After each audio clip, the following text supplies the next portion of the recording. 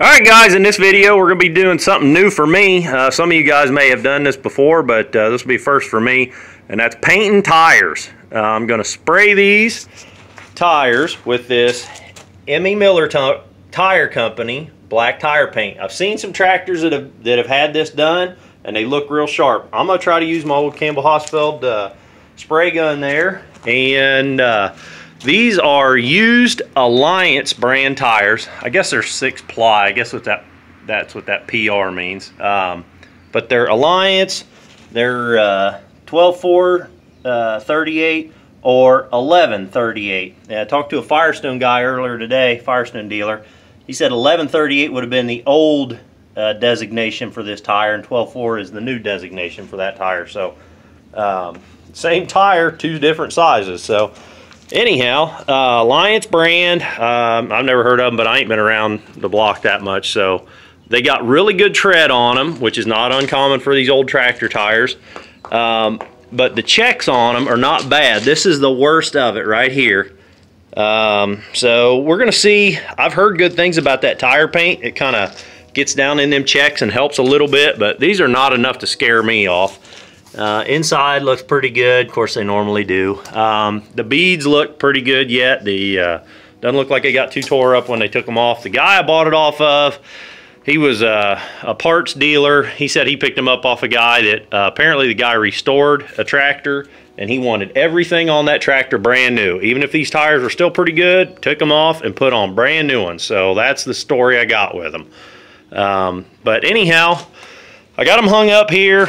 Uh, it ain't pretty, but, um, and I don't know if I mentioned it or not, these will be going on to a uh, unstyled B that I picked up a few months ago, and I'm not normally real big on uh, the looks on my tractors. Uh, mostly I just like them to run, but uh, that B is, that's pretty good looking tractor, and uh, it needs tires anyhow, needs tires, and one is completely shot. Um, so I figure if I'm going to put tires on it, I might as well purdy them up a little bit because that's that's a pretty nice tractor. So anyhow, I'm gonna put some of this. This, uh, this stuff comes ready to use. Uh, back in the day, I guess you could get it concentrate and then you mix it 50-50 with water, but they don't sell it concentrate no more. You can get it by the quart, which is what I got, and you can get it by, I think they sell them by five gallon buckets too. So I'm gonna put that in my sprayer and I'm gonna start spraying and we'll see, uh, we'll see how this turns out. I'll catch you guys up here in a little while. All right, guys, well, there's the difference. Um, I guess I kind of put it on a little heavy. I don't know. I went over it. I hit it probably, you know, this one here. Oh, my rope fell. Had to fix that. Um, I don't know. I probably hit this thing, you know, three times over, especially on the sidewalls. That's mostly what you're going to see. Um, be honest with you, it's a little glossier uh, than I kind of hope it dries out to be. Uh, it's supposed to dry to like a satin. So um, it's water based, so I expect it to, you know, kind of dry out here. I just got done spraying it. Like I said, I put it on a little heavy, so uh, I don't know. Um, we'll see. Uh, we'll see how it dries. Um, but anyhow, there's this one's done, and that one ain't. So there's the difference. But like I say, I just got done spraying it, so I probably used about, know, better than a pint.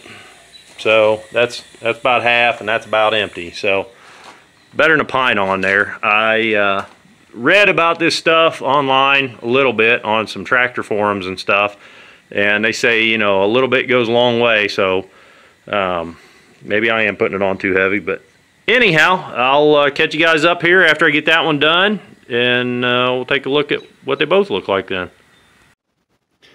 Alright guys, so here we got uh, both of them painted up, and um, just got done with this one, maybe, uh, oh, I don't know, three, four minutes ago, long enough for me to run some water through my uh, gun. I don't want it getting all nasty on me. So you can see this is way glossy just like the other one. I put it on just as heavy. Um, but it probably took me, oh, I don't know, 10 minutes to spray this one. And in that time, you can see this one's starting to dry out just a bit. And uh, it's kind of getting that satin sheen to it like a new new rubber would. So, um, like I say, I've seen this on other tractors, uh, and it looked real good. So, I still got pretty high hopes for it. Um, it's really humid out here. Um, June, late June, almost July in Indiana, and uh, you know, we got humidity, that's for sure. So I'm gonna let these hang. Oh, probably I'll let them hang a couple of days and uh, get good and dry before I handle them. But just in that 10 minutes, I mean, there's some there's some patches on here that's starting to dry out. So uh, we'll let them hang for a couple days, and I will catch you guys up in a couple days.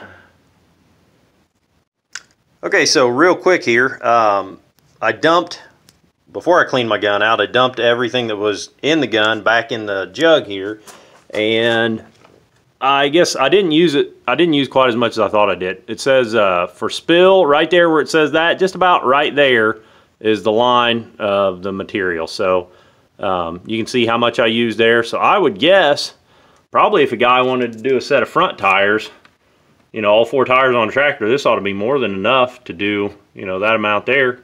Um, I've used more than half of the jug on the rears, but that'd be plenty enough to spray set of fronts. So one jug of this stuff would, uh, I would say very easily do, you know, all four tires on a tractor. Um, so anyhow, that give you an idea how much of that stuff you need. And uh, you can see just how heavy I put it on there. So anyhow, I'll catch you guys up in a couple days. We'll get a look at what they look like then. Okay, so here it is uh, two nights later. They've been drying for roughly 48 hours and they look really good. Um, they are the sheen and color of a brand new tire. So the uh, the uh, checks on the sides, they didn't fill in as much as I'd hoped they would. You can kind of see that checking there a little bit, but so I guess the stuff was pretty thin anyhow, but man, they look good. So uh, I'm real happy with how they turned out. We get them down off of here and uh, get them mounted up. So uh, that's uh, that's how you paint your tires. If you guys like this video, click the thumbs up button. If you want to see more like it, click the subscribe button. I'll catch you on the next one.